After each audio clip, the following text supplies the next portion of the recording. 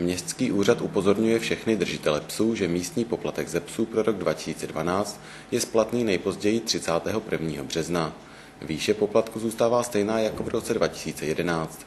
Poplatek lze uhradit buď bezhotovostním převodem na účet města, nebo v hotovosti na pokladně městského úřadu na Adámkově třídě. Údaje potřebné k identifikaci platby, tedy číslo účtu a variabilní a specifický symbol, zůstávají stejné jako v minulém roce.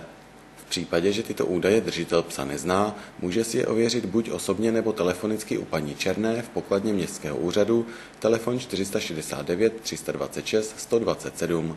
Nebude-li poplatek řádně a včas uhrazen, vystavuje se držitel psa riziku vyměření poplatku platebním výměrem s možností jeho zvýšení až na trojnásobek. Občané mohou také už od 2. ledna platit poplatky za komunální odpad na rok 2012. Vše zůstává ve stejném režimu jako v roce 2011 a poplatek činí 500 korun za poplatníka a rok. Informace o platbách podává paní Jirková na právním úseku odboru vnitřních věcí v budově B za radnicí, telefon 469 315 325, případně paní Černá v pokladně městského úřadu.